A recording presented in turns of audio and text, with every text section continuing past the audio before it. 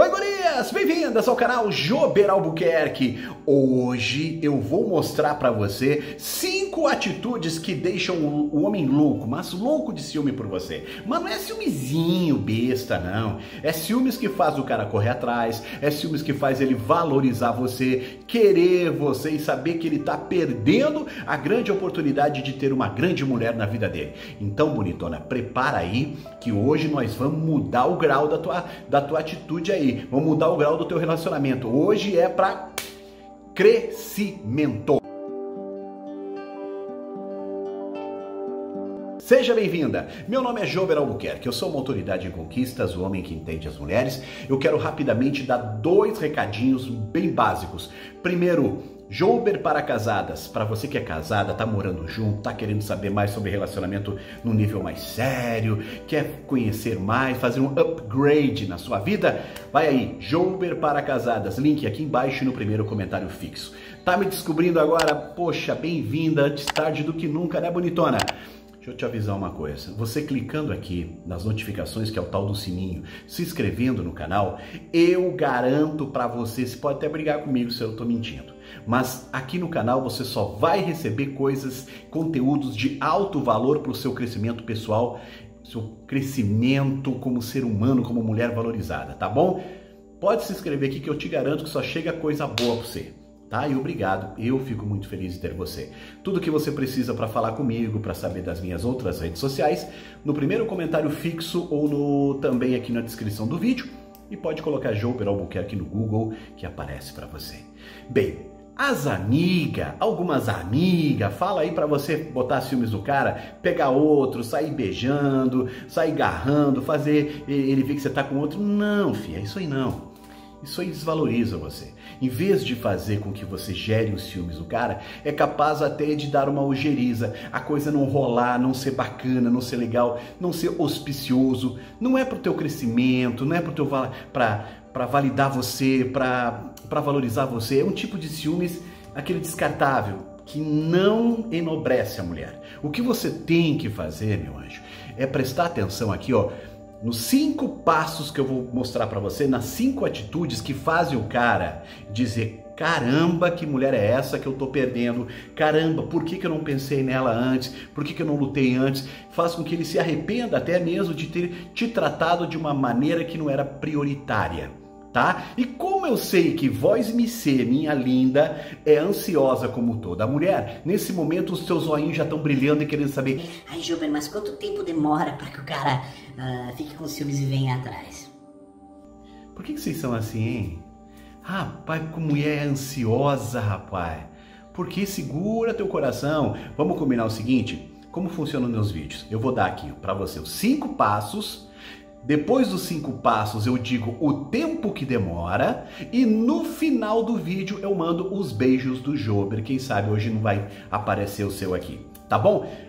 Primeiro passinho que você tem que dar, primeira atitude que você, eh, que você tem que tomar é você mostrar para esse cara que tu é mulher, mulher ocupada.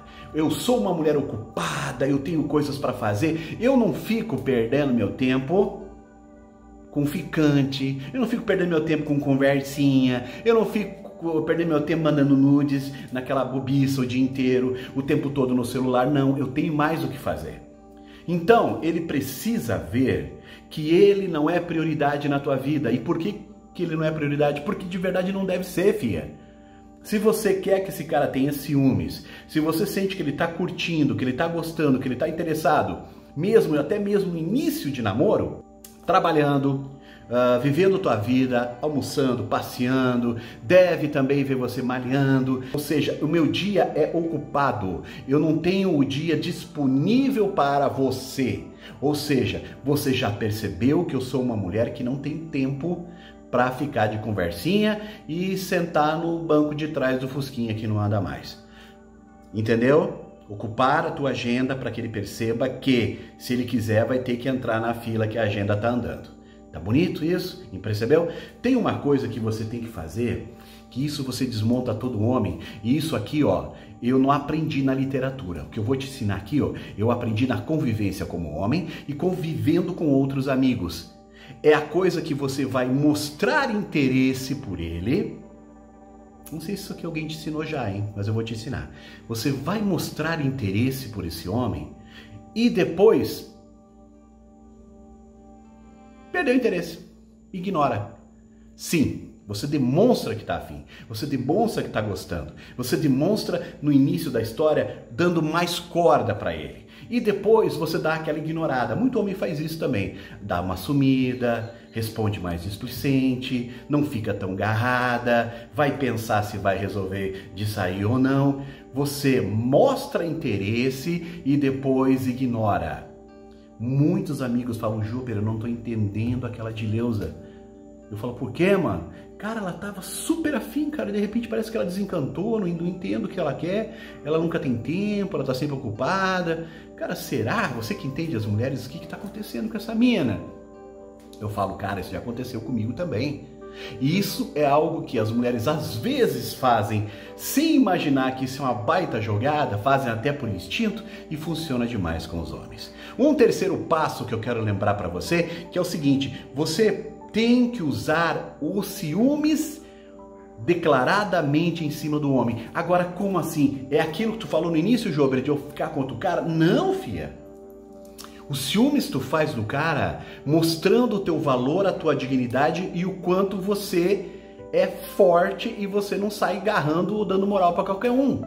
Você tem que mostrar para ele o teu valor, mas gerar ciúmes. Vou dar um exemplo que eu já fiz em consultório com uma das minhas dileusas, que eu não posso dizer o nome aqui, mas ela é de Florianópolis, até por sinal uma cidade onde eu morei muitos anos. E ela me contou os detalhes assim, tal, do que estava acontecendo. Eu falei, vamos gerar ciúmes para esse cara te valorizar. É isso aí. Então, para que você entenda qual foi a jogada nossa, ela contou essa história. O bonitinho, tu acredita que ontem eu passei duas vezes ali pela, pela Praça da Figueira, ali em frente à, à catedral ali?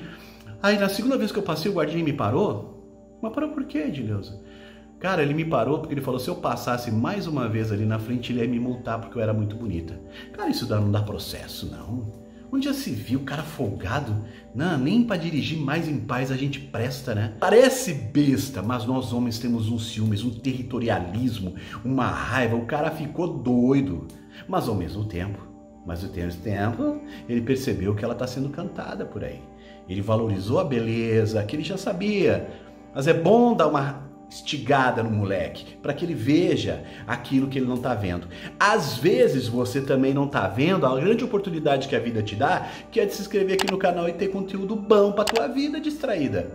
Ó, oh, rapidinho, plim, escreve, toca o sininho e Deus ao Senhor agradeça mesmo por mim, uma benção na tua vida, porque eu preciso muito da tua companhia para a gente continuar firme no nosso, nosso método, já que vai para cinco anos que a gente está defendendo a bandeira da, da, da valorização ainda mais da mulher dentro do relacionamento. Obrigado, tá? Ó, outro passo, não demonstre ciúmes. Se você quer fazer ciúmes para ele, você não tem que demonstrar ciúmes. Não demonstra. Mesmo que nós chegue em casa quebrando tudo louca, chorando, espivitada. Mas para ele não demonstra, segura no peito, na honra, no orgulho. Não tenho ciúmes. Não demonstra, porque isso faz ele ver o teu ponto fraco, isso mostra para ele que você é vulnerável. E aonde o inimigo, porque isso aqui é uma guerra de amor, vê o ponto fraco do inimigo, é ali que ele vai abusar de você. É ali que ele vai te machucar e sentir o que você, um, sentiu o golpe. Não demonstra ciúmes, segue tua história. E o quinto passo misteriosa, indecifrável, bem vestida, cheirosa e maravilhosa? Não sei. Não sei se eu vou sair com minhas amigas, se eu vou sair com um amigo, se eu vou dar um rolê. Eu tô sempre bem, tô sempre preparada, sempre cheirosa, sempre maravilhosa, sempre impecável. Para quê? Para que ele não saiba da tua vida. Você não precisa contar. Aí fica as amigas, manda foto. Ai, tô aqui no boteco, estamos tomando aqui um boteco comendo um torresminho. Nada, fia.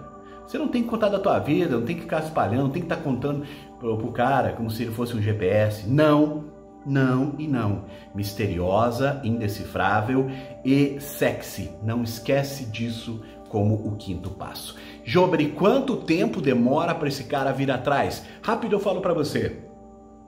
Normalmente de 30 a 60 dias. 30 a 60 dias o cara já assimila que ele está perdendo você, que a coisa está rodando, que a coisa está andando, e nesse período realmente faça a tua vida e não fique olhando pelo retrovisor.